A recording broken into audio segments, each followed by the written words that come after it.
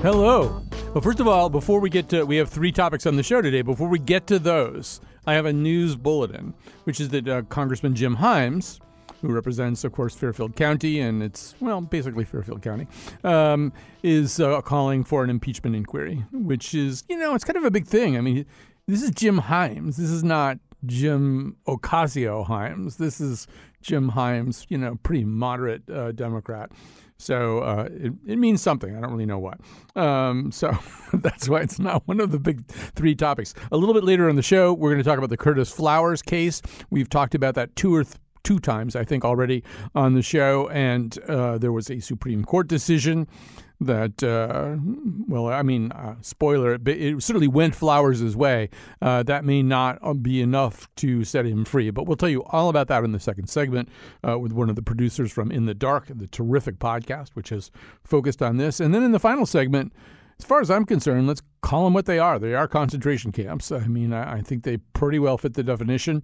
Uh, we are uh, imprisoning people along the border in inhumane conditions and in a way that is intended to kind of keep them out of sight.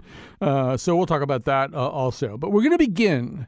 You know, as some of you have divined, I'm really kind of intrigued by Andrew Yang. I don't really know where I come down on him. I'm not hashtag Yang Gang. You know what I am?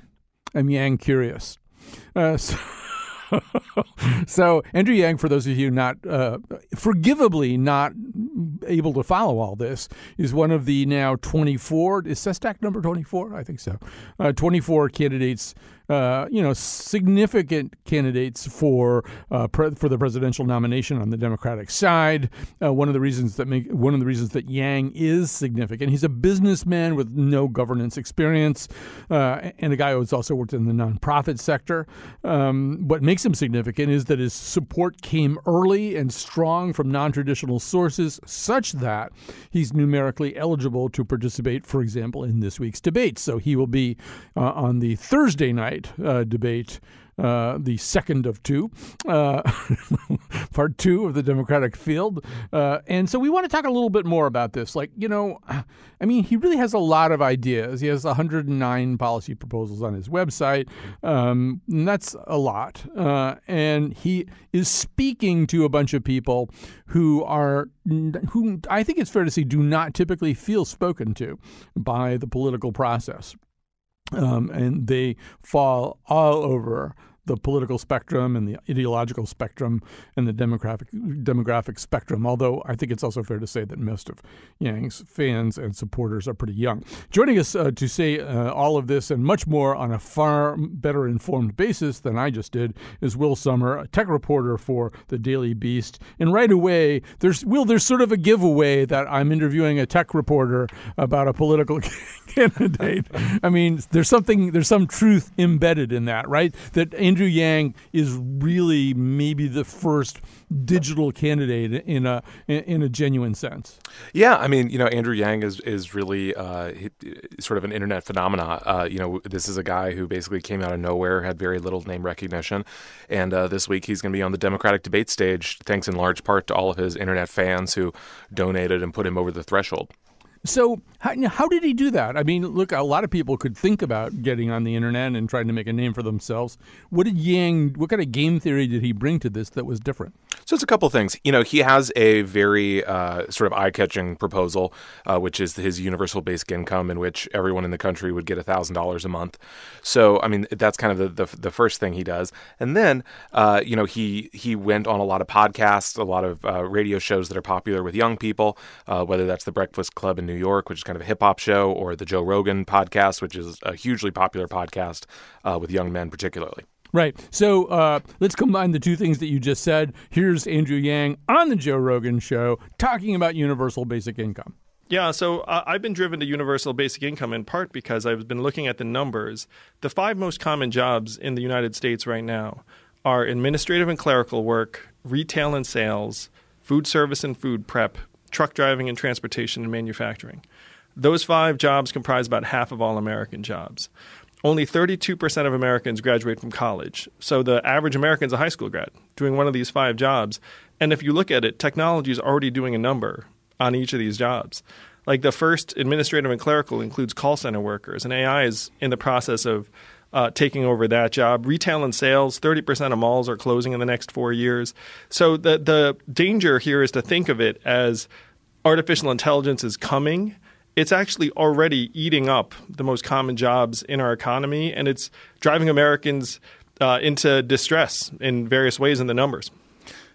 You know, Will, it seems to me that if there's one thing, one of the many things that distinguishes Yang, and I think in a kind of a positive sense, and it's something that I've heard young people respond to, is that for the most part, candidates talk about what's going on right now and a little bit about what happened in the past, and they may cock a little bit of an eye towards the future, but not much. Yang really is talking a lot about the future. He's got some ideas about how to solve the problems right in front of us, but he's also, particularly as he starts talking about uh, artificial intelligence, automation, uh, robot overlords. Uh, he's he's also talking about the future in a way that you don't hear candidates do that much. Right, exactly. I mean, he's talking about you know 20 years from now uh, when we're looking at say uh, self-driving trucks, putting all the truck drivers in the country out of business, and then all the people who depend on uh, those jobs. So, I mean, you know, he's he's saying how are we going to grapple with these these problems that are decades in the future?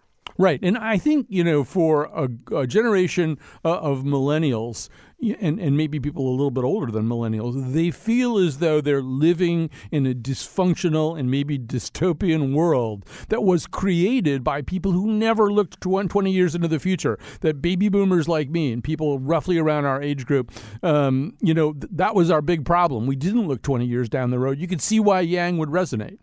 Yeah, I mean, I, I think he appeals in part to young people because, uh, you know, as you say, this is someone who, unlike a lot of candidates, is looking more to the future. I mean, obviously, the biggest example of baby boomers ignoring the future or that they won't be around for is uh, global warming.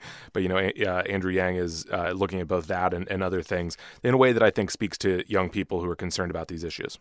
Um, and the other thing he is is um, well, actually, let me just say a little bit more about that and get you to react to it. Um, so, I, I, was looking at the video version of his appearance on The Breakfast Club. Breakfast Club is a hip hop um, uh, show uh, where, for example, Lizzo would probably be a slightly more typical uh, Breakfast Club guest. And, and you know what? Then I started reading the comments. And obviously, comments are not a, not a reliable metric. But a number of people in the comments were saying, I don't vote but I'm going to vote for this guy. I've never voted before, but I'm going to vote for this guy. And then other people saying, explaining very carefully to them, all right, well, you have to vote in the primary, which might mean you might have to register with a party, and explaining all this to them. And I mean, obviously, people who historically don't vote, they're not a huge wave, but if you can mo- mobilize a whole bunch of these people, particularly in a crowded field like this, once again, game theory favors you a little bit. Right, that's exactly right. I mean, you know, and the idea, a lot of candidates talk about, you know, what they want to offer people, but Andrew Yang is saying very specifically, you know, vote for me, and if I win, you'll get twelve thousand dollars a year. So, you know, that appeals to a lot of people, and I, I should say it's not just young people. I mean, I, I, think a majority of the the Yang base is kind of very online young people.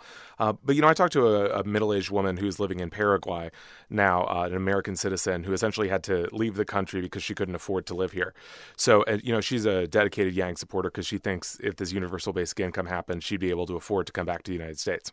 Right. And I, I was also impressed on The Breakfast Club uh, by his ability to explain things in, in very clear language, too. Maybe because he's not part of a public policy machine. Maybe because he hasn't run in a lot of elections and learned to kind of focus group his comments and weave in a lot of, uh, uh, of ambiguities the way politicians like to do. You know, I think people respect the fact that they can usually understand what he's talking about.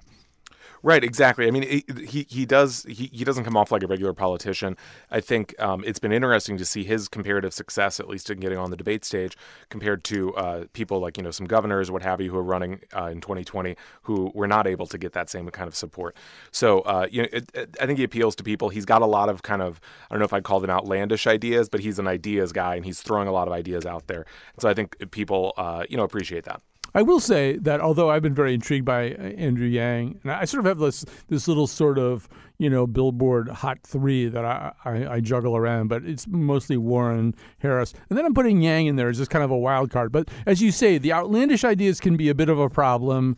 And having done a show about the anti-circumcision movement, and having met in the course of doing and in the aftermath of doing the anti-circumcision show that we did, having met some of the worst people I've ever met in my life, like really dreadful, horrible people that you never want to encounter on the internet or anywhere else again for the rest of your life. It didn't make me happy. Like, what is it? Uh, like, why is that even an issue? You know, why why is that a presidential issue? It just didn't seem like something he should be getting into. Right. So, I mean, th- this kind of came out when Yang was, I would say, less polished than he is now in terms of his campaign.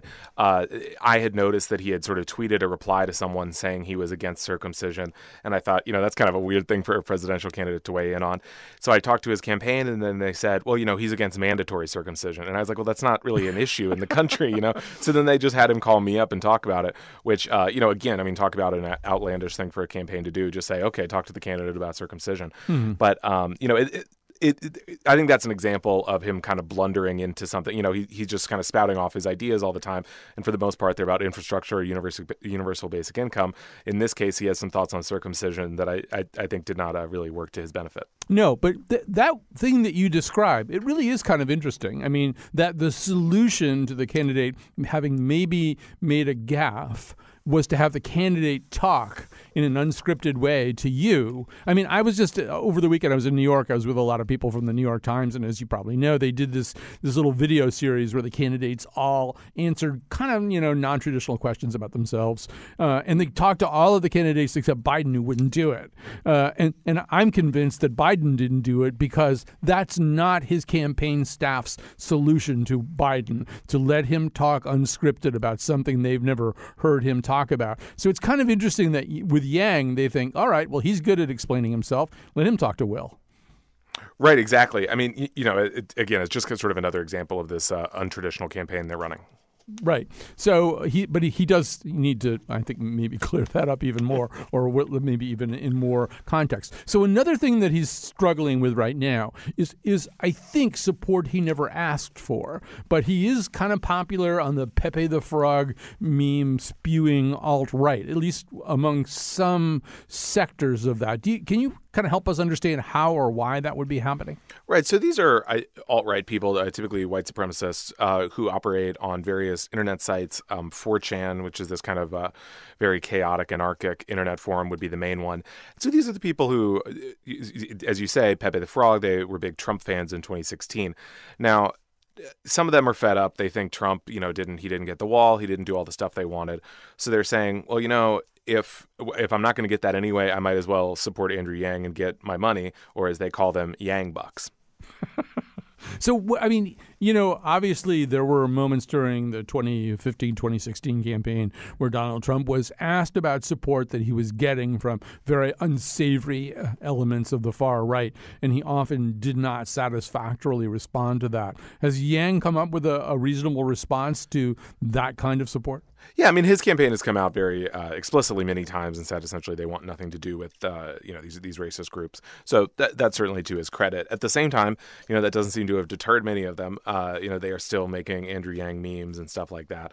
So uh, yeah, you know, it's obviously dif- difficult uh, to to you can't really blame it on him or anything like that. But he certainly does have this appeal. Right. I mean, if he, if he gets very far on our show, I've decided we're going to have to do a whole episode about Dungeons and Dragons because we've never had a president who really played a lot of Dungeons and Dragons growing up, you know, and we know from Yang's bio that he was kind of a lonely kid, a little bit of a bullied kid, kid. So he did.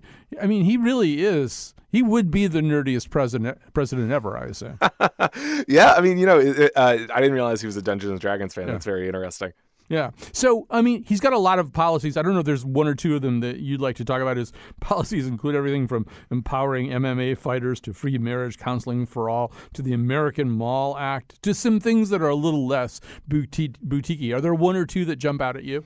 Yeah. So there's one that, that, that strikes me that, you know, he apparently he may have changed the name on this, but it was essentially an infrastructure program called the uh, the Legion of Builders and Destroyers, which sounds like something out of a, a science fiction novel or something. You know, in practice, it's I think I think Aquaman was in both of those. Yes, exactly. So you know, it's essentially like a you know almost like a New Deal type infrastructure program. Uh, but you know, it, I believe the the Legion would have a legionary commander or something. You know, I mean, actually, you know, speaking of Dungeons and Dragons, maybe we're seeing some influence there. yes. Well, on the other, so but is there more to it than just a goofy name? I mean, what is he really getting at? Sure. Yeah. I mean, uh, essentially, just like a, a, really expensive, really wide ranging, um, you know, it's, it's, it's uh, infrastructure construction and then destruction of uh, you know out, outdated uh, roads and stuff like that. So um, you know, it, it's the same kind of infrastructure, you know, that the the Democrats and Republicans both been calling for.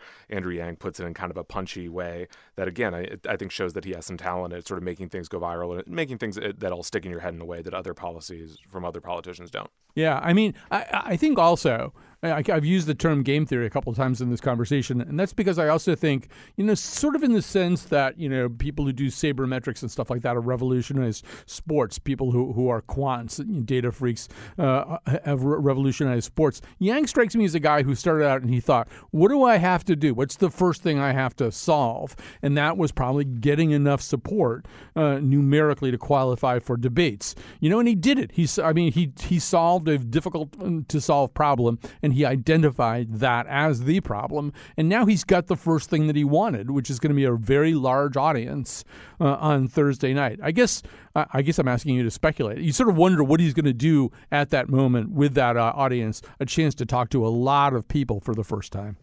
Yeah, I mean, certainly this has been, as you say, this is the goal. I mean, he, he's sort of like, well, you know, either I can, you know, get on the stage and put out my ideas, and then that'll help me rise in the polls, or I'll just kind of spit these ideas out, and hopefully they'll get adopted by some of the other candidates.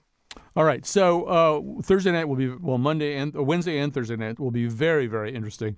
Uh, and we thank uh, very much Will Sommer, tech reporter for the Daily Beast. Thanks for doing this, man. Hey, thanks for having me. Okay. Um, all right. I, oh, I called him man. I'm not supposed to do that. I'm like I really have made it. There's a certain person on public radio who calls people man.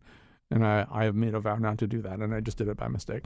Uh, all right, so just to you know what, let's still just edit that. Let's edit it out of the podcast and the rerun. No, we're not going to do that. And you, you know perfectly well who I'm talking about. Who calls people man all the time? It shouldn't be me. All right, we're going to take a break. We're going to come back. Oh, we're going to talk, uh, get in a more serious mood because this is one of the most outrageous uh, criminal cases that I've seen in my lifetime. I hope you're listening. I really hope you listen. We're sick and tired. Yang is breaking the silence. Y'all way too pious, accepting what providing. All right, uh, those of you who listen to the show a lot know that I have a lot of respect for the podcast In the Dark, uh, an investigative podcast from APM Reports, the division of American Public Media. They have done a tremendous job of reporting the case of Curtis Flowers, who has been tried for the same multiple murders six times um, and who has been the subject of not only prosecutorial overreach, but I would say judicial overreach and, and maybe other kind and, and and police overreach and anyway um, so uh, and i really recommend I, I, mean we can kind of update you about this and everything but i do recommend go, going back to the beginning of season two of in the dark. If you haven't listened to it already it's just uh, very well reported and i don't think there's any way to really understand all this uh, and the magnitude of it and the outrageousness of it without listening to all of this and I think it's also fair to say that In the Dark played some role and maybe a major role in getting this case to where it wound up, which is the U.S. Supreme Court. A decision came out last week. So jo- rejoining us uh, is Samara Freemark, who's been on before, reporter and senior producer for In the Dark. Um, thanks for doing this again. Yeah, my pleasure. Thanks for having me.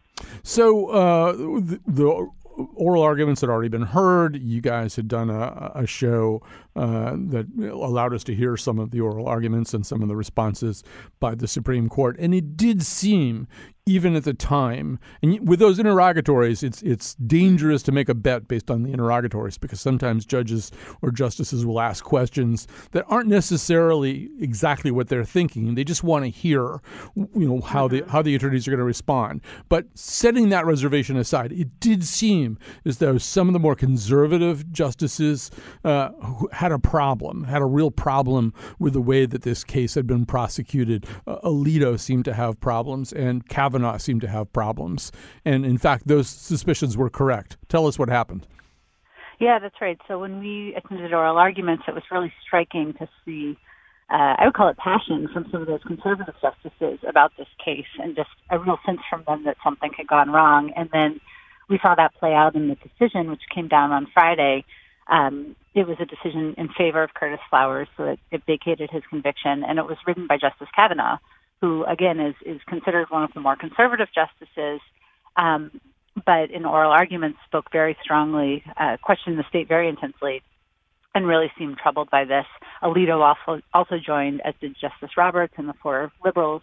Um, so we saw a 7-2 decision uh, in favor of overturning Curtis Flowers' conviction. And this this hung primarily on the practice of the prosecutor Doug Evans uh, of excluding as many black jurors as possible uh, from the juror from the actual impaneled uh, jury, uh, with asking often many more questions of prospective mm-hmm. black jurors than he did of white jurors. Uh, and Kavanaugh said the numbers speak loudly. Over the course of the first four trials, there were 36 black prospective jurors against whom the state could have exercised a peremptory strike. The state tried to strike all 36. Um, so, you know, there's a way in which uh, and I don't know how this resonated with you guys emotionally. You've got a lot sunk into this in case you spent a long time with it. But there was a way in which, even listening to the interrogatories and then reading the Kavanaugh decision, it feels like this was kind of a layup for the court. That, you know, rather than being a case that could speak to a lot of other cases, this case was so bad, so extreme, departed so far from the norms of jurisprudence that for seven of them anyway, it was a pretty easy one to decide. Yeah, I mean, I think we saw that in the decision. You know, the, the the decision was a narrow one, and Justice Kavanaugh says this in the decision. He says we're making no new laws. Um, we are just taking the previous standard, which is called, which is the Batson standard, and when we apply it to this case, we find that it's been violated. And I think the Supreme Court generally, uh, they, they are wary of big sweeping decisions um, and this was not one of those. And um, and so, but what we do see in this case is that they did really consider the history of all that had happened in the previous trials as well. They weren't just looking at what had happened in trial six; they were looking at what happened in all of Curtis Flowers' trials, and they were seeing this pattern over and over again of Doug Evans striking jurors. And so that was to them uh, really telling. And they said, you know, you have to consider that history when you're looking at what happened in the sixth trial. And if you look at that history, it's clear that this one particular juror in trial six was struck because she was black. And you can know that because you can look at what Doug Evans has done in all of these previous trials. Right. Um, so um, you are uh, the the in the dark team uh, made a point of being with the flower, uh, the father of Curtis Flowers, Archie Flowers, uh, at the time the decision was handed down. Uh, let's hear a little bit of that from in the dark. Hey, what you what what you got going on? Yeah, well, it's, it's probably all over town by now. so how you feeling, man? You said your prayer? You said your prayer did, boy?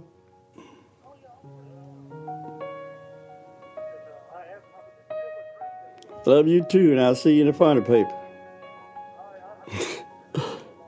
okay. Thank you for using this.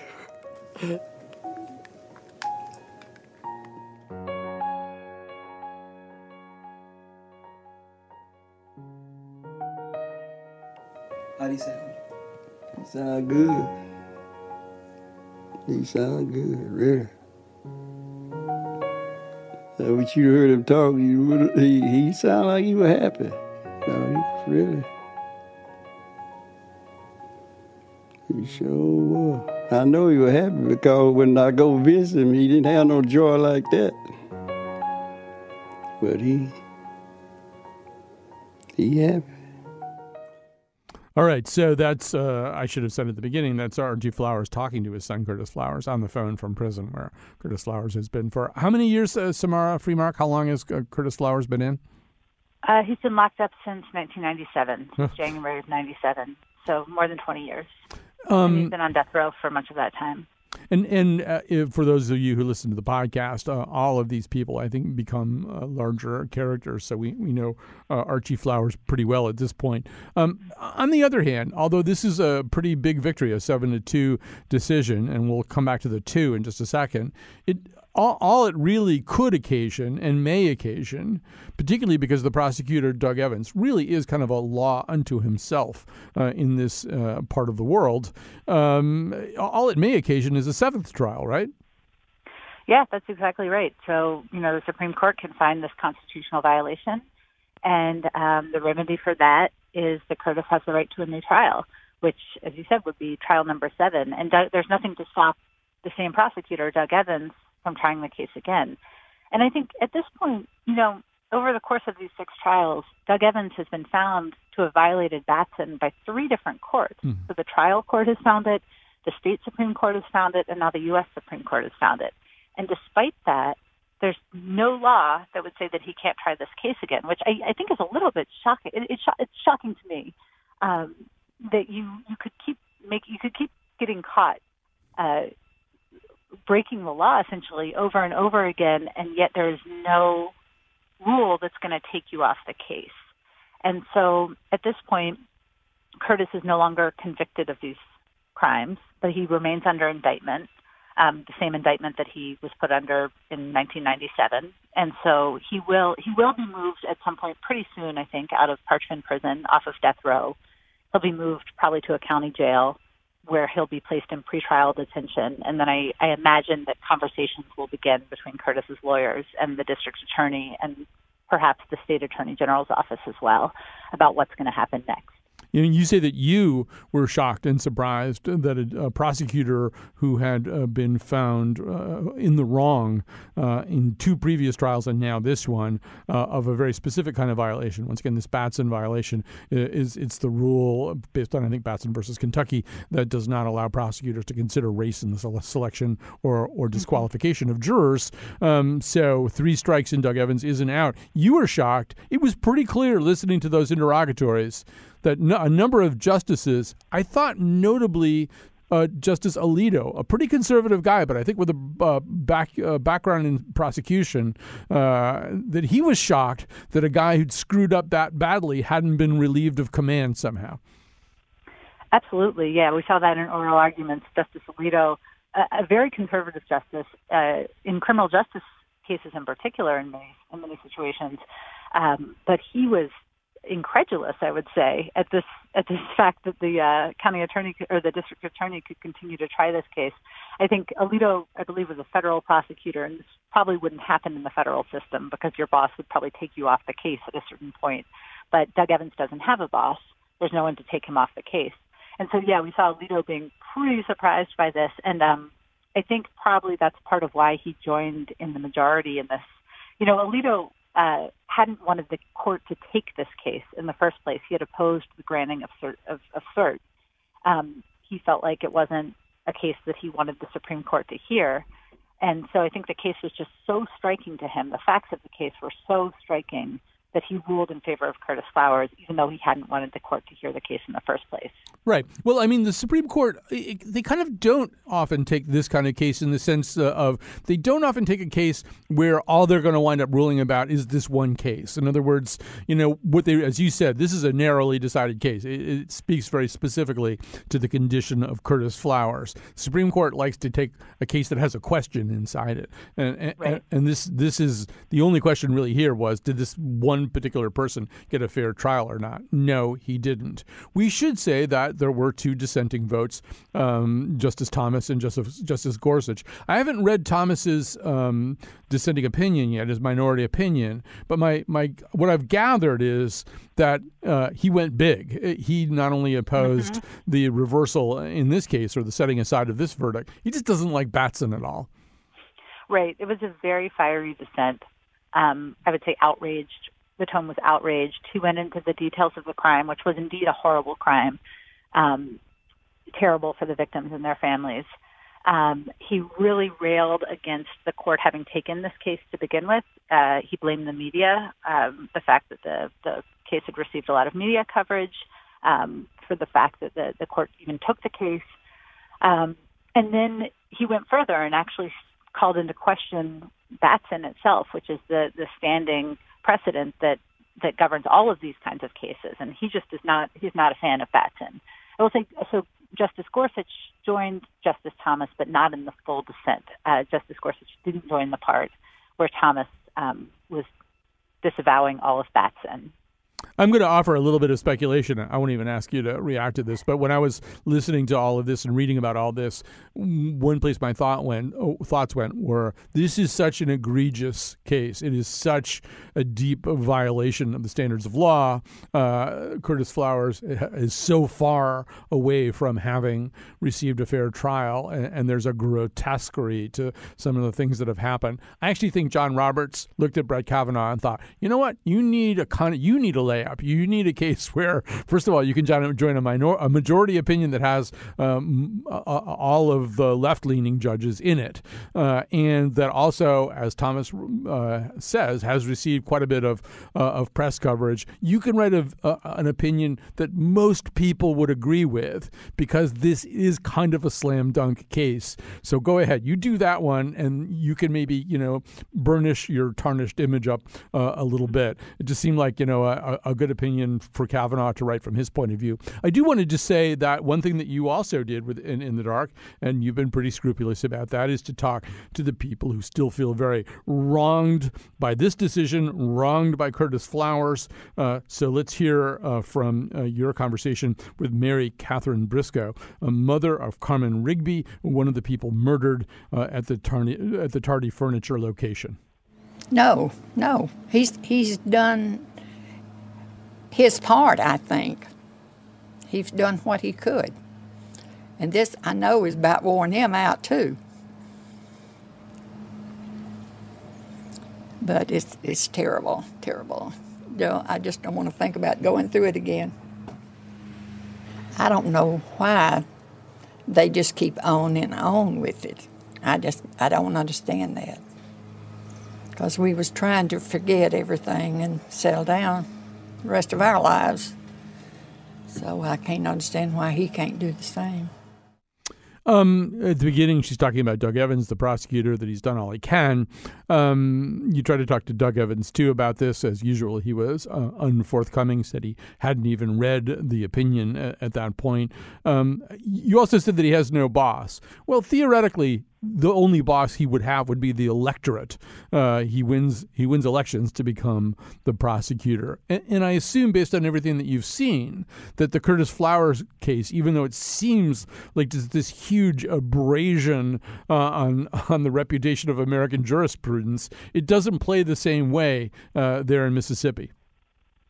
Well, I would say that uh, yeah. So first of all, yes, his his boss is the voters. Um, Evans is up for reelection this fall uh, but he's running unopposed, mm. so he will be the district attorney um, for the next next years. Um, the the reaction here, I think, as, has always and continues to break down along racial lines. Um, you know, me and, and another reporter, Parker Yesko, are in Mississippi right now and talking to people about their reaction, and we certainly have felt that. Um, so African American people in Winona uh, seem very happy about the decision, very pleased, validated, I would say even overjoyed. Uh, most most people that we've talked to um, on the white side of town, it's different. And um, you know, Doug Evans, the the population of Winona is, is slightly more than 50% white, and so I think you see that dynamic p- playing out when you look at the choices that the elected officials, especially the district district attorney, are making. Um, we're going to leave it there, but uh, keep on reporting, uh, Samara Freemark and the rest of In the Dark. We'll keep uh, listening to your podcast, and thanks for joining us today to talk about last week's Supreme Court decision in the Curtis Flowers case. We're going to take a break. We're going to come back. We're going to talk about those uh, facilities along the border and whether they deserve the name concentration camp. Spoiler, they do.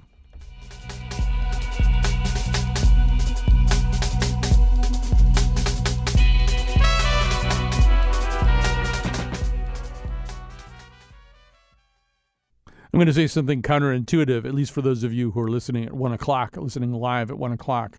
Chion Wolf isn't here today. The, the, reason that's counterintuitive is you just heard her voice if you're listening live. Um, she's not here right now, so uh, she's not here to read the credits. Uh, so I will say the credits. Uh, this uh, show is produced by Betsy Kaplan, uh, who most often does re- does produce our Monday Scramble. She's our senior producer. Jonathan McPants is sitting where Wolfie usually sits. Uh, he's on the board today, and I think I can't really see in the dark. Is that Jesse who's in there? Who's Jesse? Our our excellent intern Jesse is there working phones for us Uh, and I don't know who played the part of Bill Curry. I didn't think that through very carefully. Well, it could be. Uh, well, it could be Andrew Yang. Who knows? Uh, tomorrow, we're going to do a show on robocalls. And I don't know too much yet about it. It's being produced by Josh Nilaya, and which tells me that it's probably going to take a fairly sinister uh, approach to, to robocalls. Not that there's really kind of a My Little Pony approach that you can take to, to robocalls, but you know it, this could get pretty dark. Is what I'm warning you. Uh, all right, so uh, here we go with our final segment, uh, and one of the things that was clear in the dialogue of this weekend, you know, whether you're watching Sunday morning uh, news talk shows or just paying attention to social media, is opinion is starting to coalesce around this problem of these detention facilities at the border, uh, and the term concentration camp is starting to be used to describe them. Uh, and I think one of the things that drove this, not only the visual details that we're starting to get from those concentration camps or from those detention centers, uh, and believe me, the government is trying to keep those to a minimum, the number of times we see sites from there.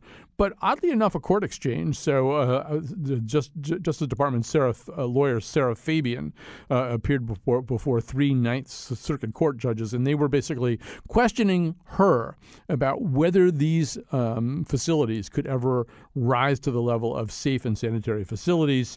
Uh, and they just they themselves described situations where people, including children, uh, are trying to sleep on a bare floor with a metallic blanket for cover and that's it, and the lights never go off, and how can that possibly be safe and sanitary? And she was kind of doing a humada, humada, humada thing uh, uh, about that. So uh, we want to talk more about this. Obviously, concentration camp is not a term that we want to use lightly. Uh, it's not a term that we want to misuse.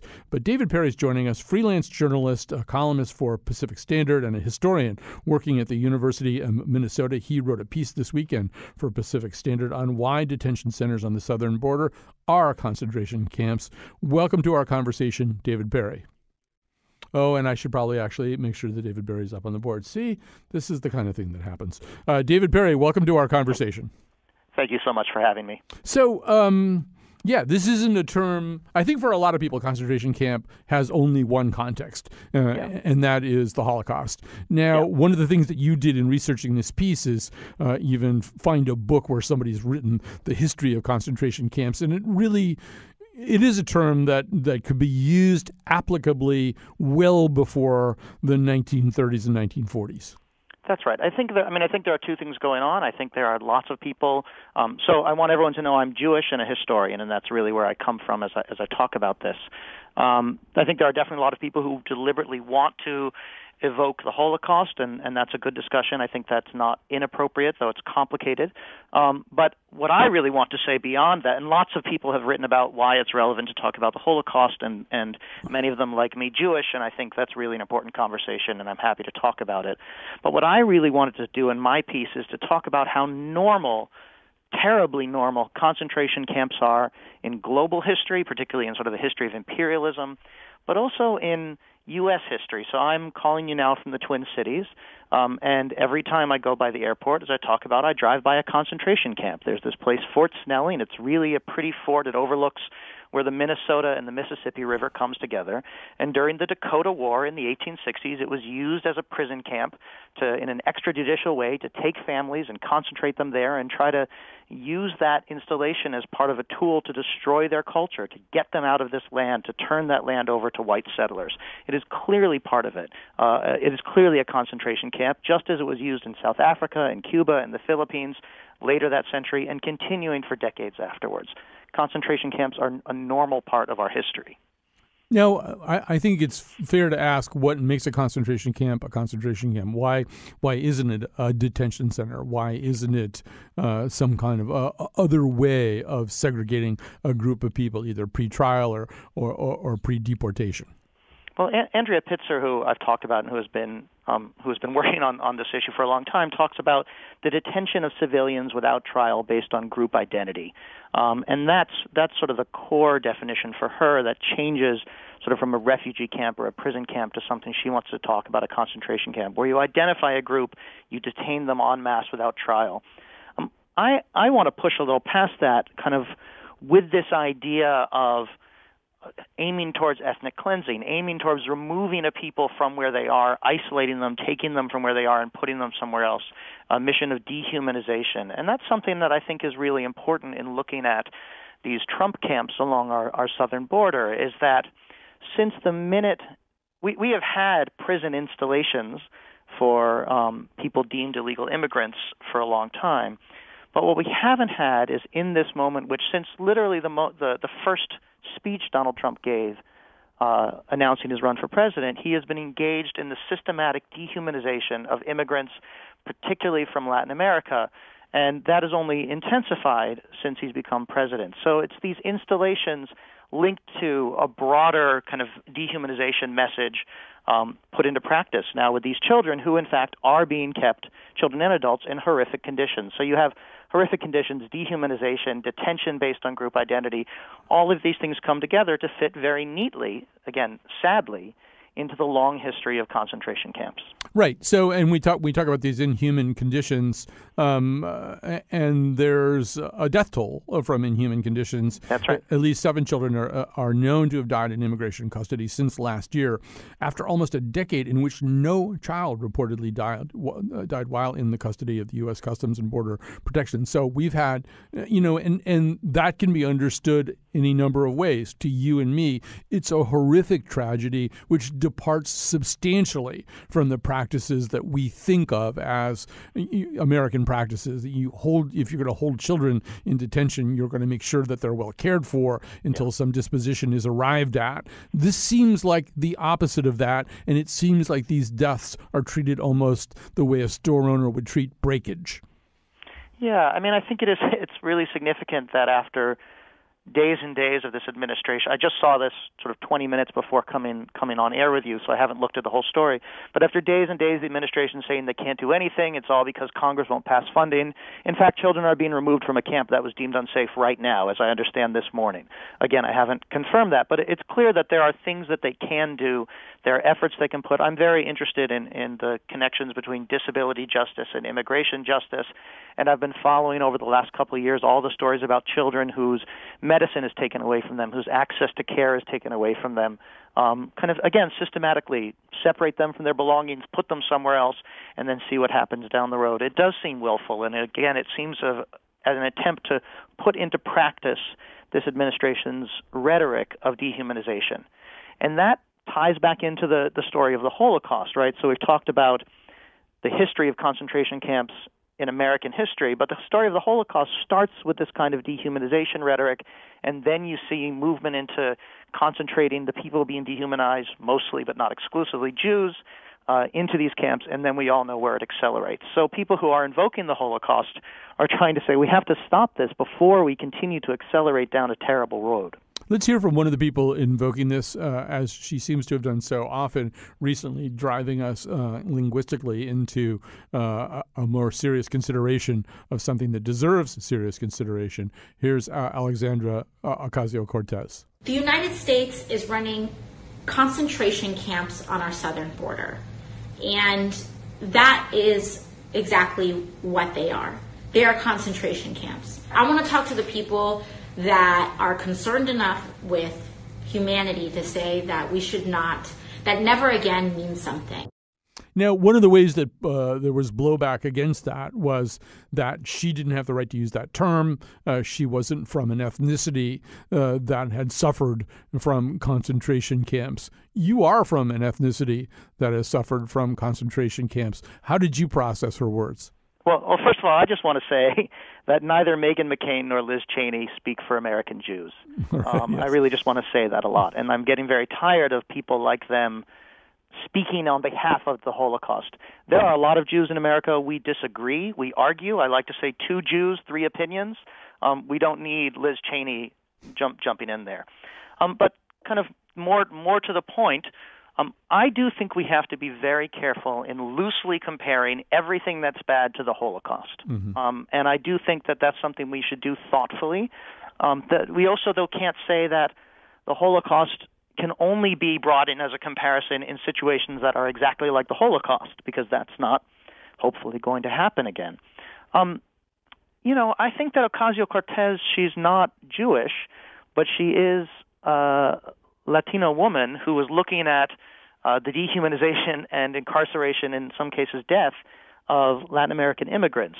So, you know, she has one kind of claim on, on escalating the situation rhetorically, and I have a different kind of claim as an American Jew. Uh, and I think that there's room to talk about where we use the Holocaust as as a, as a reference point. Um, I do think again when you have years of systematic dehumanization followed by the creation of these camps and these terrible conditions, um, that it is not necessarily inappropriate to say never again is now. That this is the moment in which we can still act before things spiral so far out of control, before so many people die. That's not saying that either of us think it's going to turn into a death camp situation. I, I don't think it is. Um, but I think it could get a lot worse if we don't act soon. And I think the other part of that, though, David, is it's already been pretty bad, and the government knew about it. So in 2018, the Inspector General of the Department of Homeland Security went and, and inspected, did a surprise inspection of some of these facilities. He found spoiled food, dilapidated bathrooms with unusable toilets, uh, mold conditions, peeling paint, uh, you know, j- just a, a, a hellhole. Uh, that was in 2018, and, and it does seem as though, uh, I, I also worth mentioning, these people are held in civil detention. They are not. Right. They're not being held in criminal prisons or anything resembling that. That's what civil detention looks like at the border. And and I think the reaction to all of that is fine until somebody makes us change it. That's fine if they're sleeping on bare floors and they're cold and they're uncomfortable and they don't have toothbrushes and some of them have the flu. Fine. We're not doing anything about that. And it does feel like this administration, having sort of made it a year since this conversation first started, the first time there was a big debate around concentration camps and these camps, and we all heard, you know, the voices of children crying and screaming, as, and then it's been a year from that, that they are building a machine. They are taking pre-existing material um, and practices within um, the Department of Homeland Security and ratcheting them up into a machine to do this again and again and again, trying to dehumanize these people, trying to drive them out of this country, trying to make sure no people don't come through terror and horror and fear. And I mean, if never again isn't now, based on what I just said, then then when is it? At what point uh, is it? I am comfortable saying that this is the kind of system, this is the kind of thinking, the kind of government institution, the kind of people like Sarah Fabian willing to defend horrible things because it's her just her job. She's just following orders. Um, I think this is the time when we have to say, how far are you willing to let this go? And each person has to, to stop and think about that. When are they willing to act, if not now? Right. It, it does seem as though opinion is coalescing now in a way that may begin to make this less of a partisan issue. Uh, Oca- Ocasio Cortez, by getting involved, may have made it intrinsically a little bit of a partisan issue. But I just I know lots of Republicans. Just you know, they're not they're not members of Congress, but I know lots of Republicans who who are moved by this and who can't stand the idea that we're doing this. I, I hope so. I mean, one of the things that has been really um, which has made me glad in the last sort of four days is to see so many American Jews, writers, uh, journalists, historians, some liberal like me. You know, I, I, I wear my politics kind of on my sleeve, um, but but not not all. Really step up and talk about the history here, saying, listen, there's a history in this country and globally of this kind of installation being used in these particular sorts of ways. That does seem to be what's happening now. Those are the facts on the ground. Now, what are we going to do next? And and there I think there's a lot of debate about that. But I do feel like, including from the Jewish community, um, with a few outliers, we're we're really, as you say, opinion is coalescing to say this is this is just wrong. Right. Uh, David Perry, thank you so much for joining us. Freelance journalist, columnist for the Pacific Standard, where he wrote about this issue this weekend. A historian working at the University of Minnesota. Special thanks to uh, senior producer Betsy Kaplan for making this all come together. Uh, thanks also to Will Sommer uh, and Samara Freemark for being on the show. Uh, get ready for robocalls tomorrow. I think it's going to be more than robocalls somehow. In fact, I'm a little worried about this show. but we'll see you tomorrow.